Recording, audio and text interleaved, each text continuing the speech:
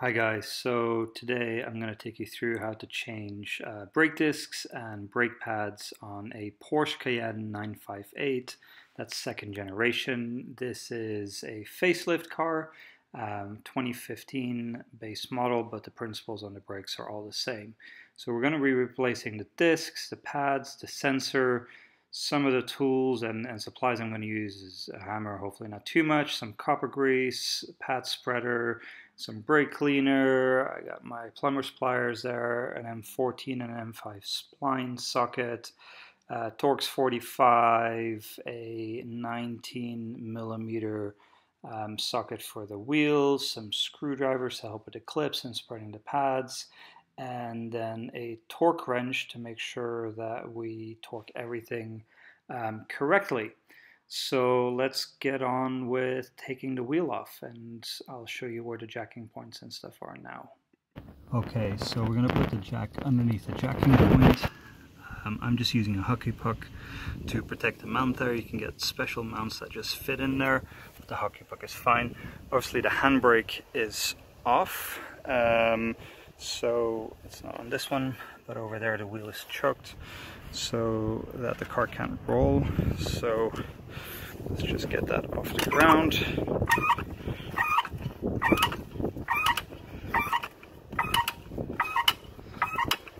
Just enough until the wheel is released. Okay so that's good. So let's get that off now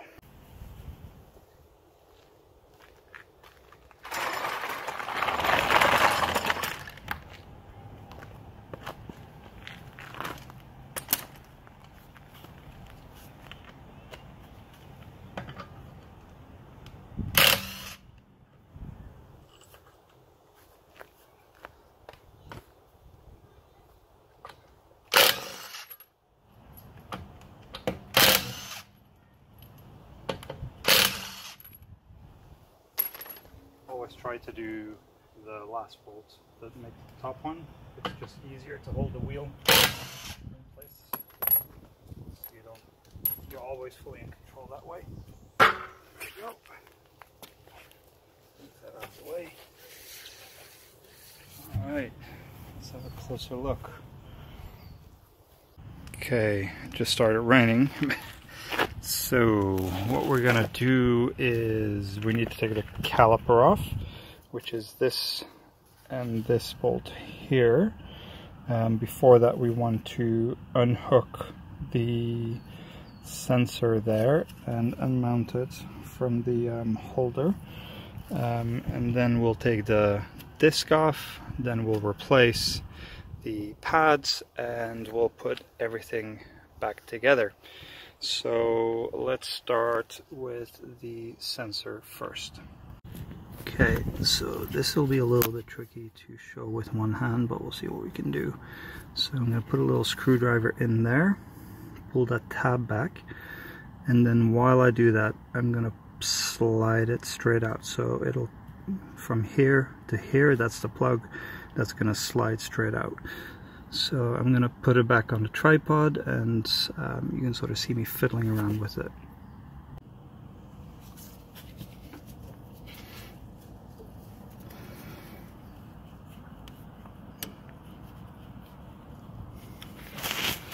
So obviously doesn't want to go because it's got lots of crud on.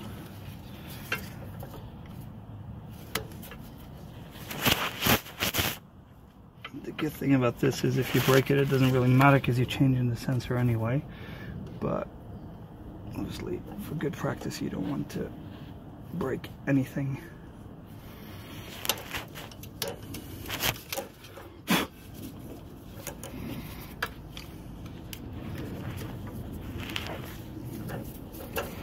So let's push it from here.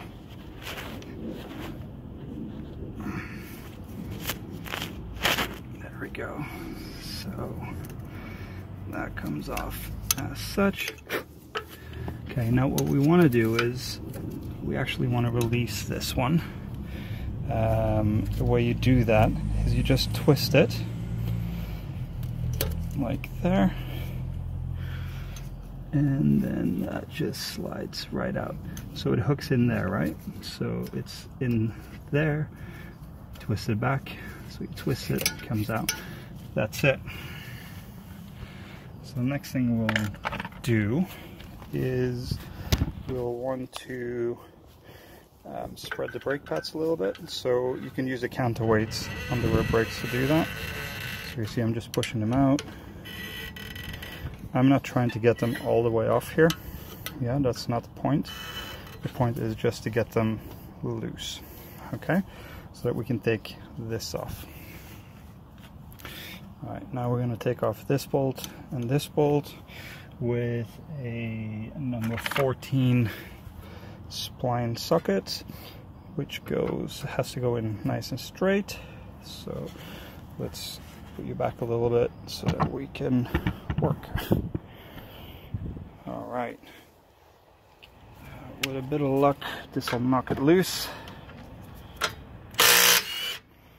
which is nice and easy. These are all threaded bolts. Okay so just support that. There we go comes off nice and we're just to put that back there.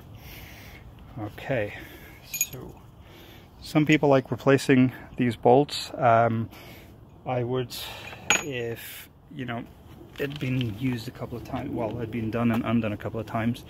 This is the very first time this is happening. So I'm to keep them because I'm quite happy with that. Um, and obviously we'll make sure we torque them correctly. So handbrake is inside the rotor. Um, so you want to make sure it's loose. I've not put my diagnostic on this to wind it back. I'm going to try to do it without, um, just in case, you know, some of you guys watching don't have that tool to hand, uh, just to show you what that looks like. Um, if that's not going to work, then we'll have to hook it up and um, rewind it uh, for the service. Okay, so Let's loosen this up. Uh, this is the only one that you need to take the disc off. This is actually a plug that won't be on the new disc, so we're going to take that off as well. This is uh, a 5 spline. This is a 45 Torx. So let's get that done now.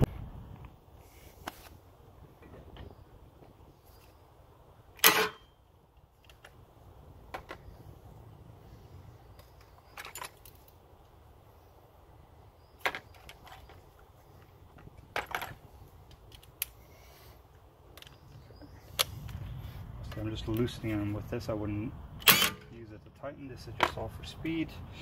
Now let's see how easy this is going to come off. All right, so that's nice and easy. Um, so it's not too hard. Um, this car doesn't have too many miles. The more miles you have and the more this is being used, the deeper the ridge on the inside here will be. And that's really what defines how hard or how easy this is. If this ridge is deep, then you have to pull the brake shoe past it and that's well you have to pull the brake disc past the brake shoe and that's where it gets really tricky.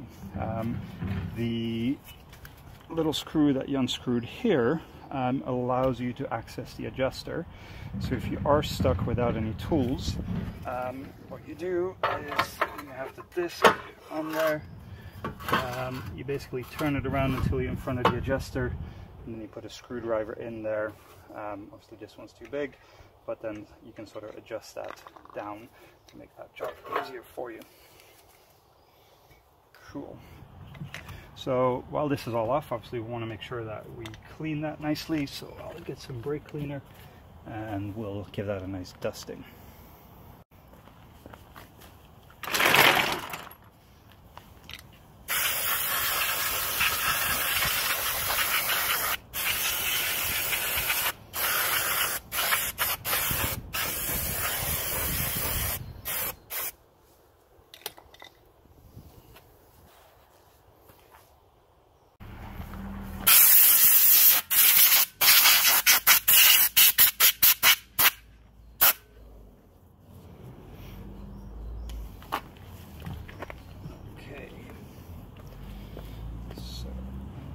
Disc.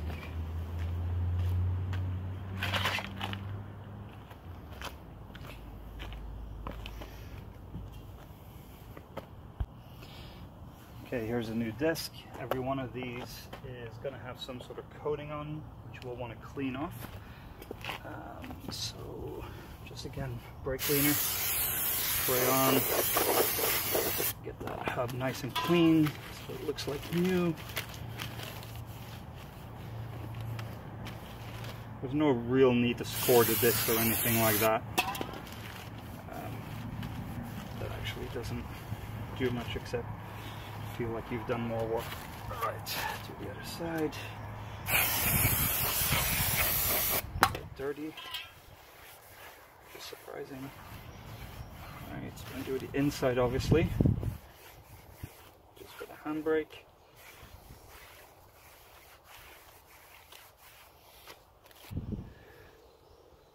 Okay, so let's get the disc put on. If um, you really struggled getting it off, um, you will have probably adjusted this if you don't have the electronic tool, but you'll probably want to reset this. So you just with a screwdriver um, like this, just lever and twist it around. You want to minimize that so that it's going to be easier to put your um, new discs on because what will have happened over time is it will have expanded um, and seated itself. Well, the old disc, which will have had some material taken out and probably a ridge built up, um, this one doesn't have that many miles yet, um, so it's not an issue. I don't have to mess around with that. So let's pick this up um, and line it up nicely. There we go.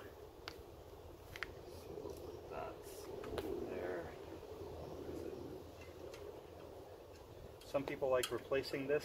Um, I think it's more cosmetic than anything else because effectively the only thing this thing does is it keeps the disc from spinning independently from the hub when the wheel is on.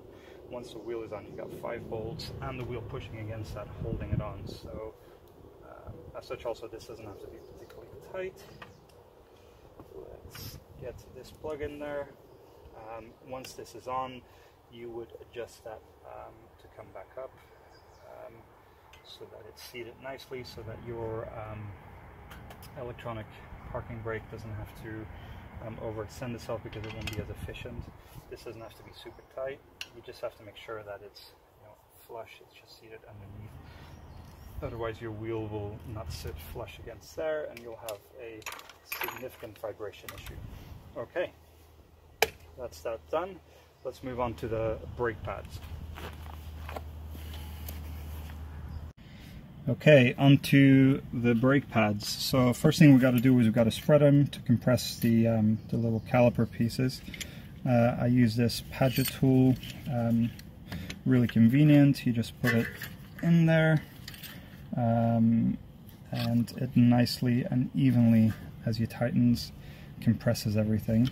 So you want to take your time on this. If anything isn't moving, it tends to be indicative actually of a fault like one of those might have gotten stuck um, or seized, um, which you sometimes find. I would be very surprised on this one because again, not many miles, so it all goes nice and smoothly. Um, you don't want to force it, you just do it until you feel that it's all the way back. And the reason we want to put these all the way back is we're putting new pads on new discs, which is um, good, but you also want to make sure it fits on nicely without you having to wrench them on there. So let's have a feel. Yeah, that's all the way back. So we'll loosen that off.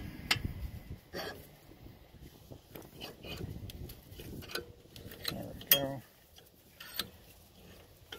And just take that out. Okay.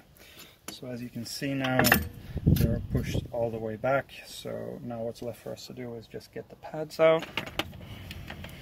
Um, I'll just use a screw. Make sure you don't put the screwdriver on these things because you will damage the rubber. Um, and then this relatively easy job becomes a much harder job. So just drop them there. Do the other side. Nice and easy.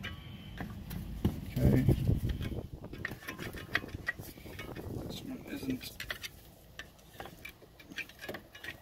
Nice there. Okay, so this is the inside one which has a sensor on. Now the sensor doesn't actually fit past the spring, which is an important thing to remember for when you're assembling later, because otherwise you will have to disassemble everything. So we want to take the spring out. Um, a lot of people replace them. Um, I replace them when they're, you know, very visibly worn. Um, this hasn't been used that much, so not an issue for me. Put a screwdriver under there. And just pop that out like that. Okay, again, watch out, none of these nick the rubber seals. Very easy to do, but you don't want to do that. There we go, sensor comes out together with the pad. Let's put that there. And let's start cleaning things up. First thing I'm going to do is I'm going to clean this up. Um, the important things to clean are the contact points. There, there, there, there. Um, I'm just going to put a wire brush over those, um, put some copper grease on, which I'll show you in a bit, and refit it there after we clean this all up as well. So I'll be right back. Okay, so it's all cleaned up. Um, as I said before, lots of people replace this. Sometimes it's in with a brake kit um, type things. I personally am not going to replace this one. That doesn't mean you shouldn't um, if you feel like it. They're not expensive parts. Um, I just don't see the need to replace it just for replacement's sake. So let's clean this stuff up. Just use a soft brush.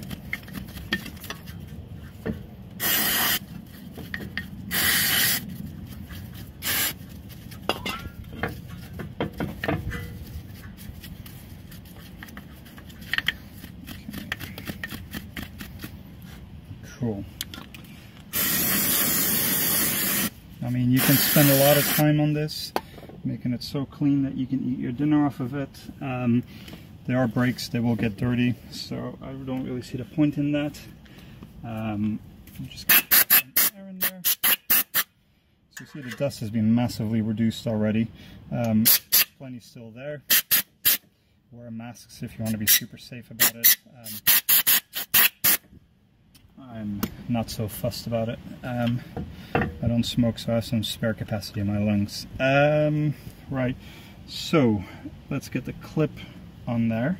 Um, as I said before, this this plug will not fit through the gap once the um, the spring clip is in there, um, but obviously the other side will. It's it's fine. It's only if you're having to replace pads that you have to worry about that because then this is often sort of you know set in. Um, you can't really take them off without breaking them off. So um, you would have to put this in then put the spring on top and then mount it that way. We don't have to worry about so to prep for mounting this we're going to put a little bit of copper grease on the contact points. Uh, get a bit of copper grease there. Okay so we're going to lightly put some on there.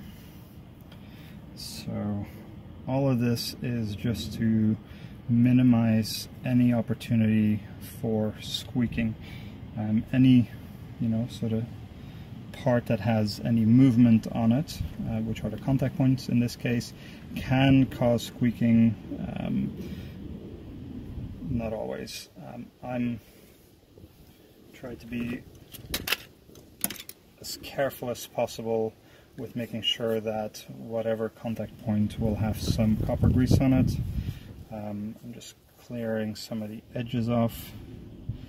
Alright, so let's get our plumber's pliers, open them up fairly high, and let's mount this bad boy in there. So what I'm going to do is I'm going to put the pliers on there and let me show you actually what I'm going to do because I'm not sure how much you'll see. I'm going to put that there like such. And I'm going to I'm going to gently squeeze this in because that's pressure fitted in there. Um, and so doing it this way means that it'll go in nice and easy it says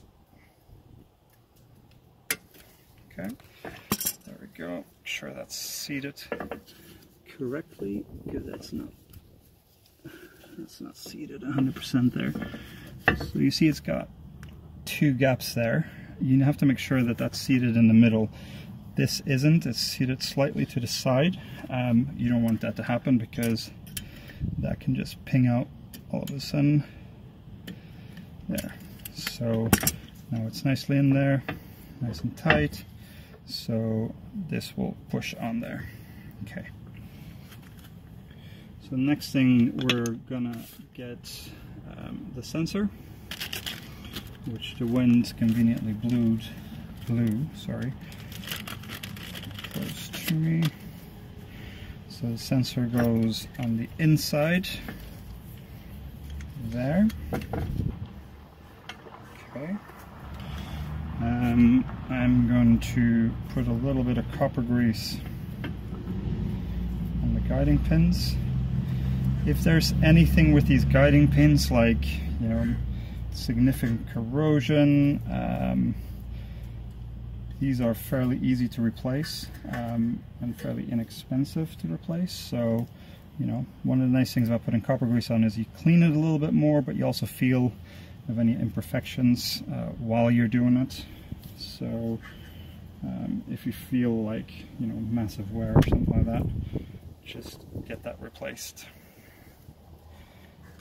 Again, this is one of the contact points to make sure that we prevent any potential squeaking to happen. Next then are the pads. We're going to put some copper grease on the back of the pads like this. Interestingly, even though these Pagid pads are, uh, well, Pagid, they are in fact Textar branded. Um, Pagid and Textar are part of the same company making brake pads. Um, both are OEM providers for Porsche and many others and make very good products. Um, some of the Textar low dust ones are excellent as well. Um, these aren't those. I've used them extensively on BMWs. Um, it makes a night and day difference on your rims. Okay, we're just putting a very thin layer on, putting a little bit in there, putting it there. Obviously you want to make sure nothing goes onto the friction material itself. Let's mount the sensor and put that so that just slides there. There we go. That's it Fit it. And this goes in there. You apply a little bit of pressure to get the guiding pins to match up with the holes. Make sure you're straight as possible and that'll almost put itself on. That's one there. Let's put the other one. So we put the counterbalance weights there. And just there we go. So that's them there. Let's spray. A good measure, a bit of brake on. And that allows us to mount it back onto the carrier. So let's change the camera so you can see what's happening there. Okay, I hope you get a good view on that. Let's put it like there. Okay. So make sure our hands are clean. I'm going to just burst a little bit of air in those guy in those holes. Um, what I want to make sure is there's no debris in there, um, because again, if you mess that thread up, that's your whole carrier, which is expensive and a pain. So, okay, so because we compress everything nicely, that just slides on there. Like I said, I'm not replacing the bolt, I'm reusing them. If you want to replace them, by all means do that. Get them from Porsche. So just screw them by hand, so make sure that the thread is nicely seated you don't want to force that in. This should be easy, right? There should be very little resistance there. Just shake this a little bit. So, there we go.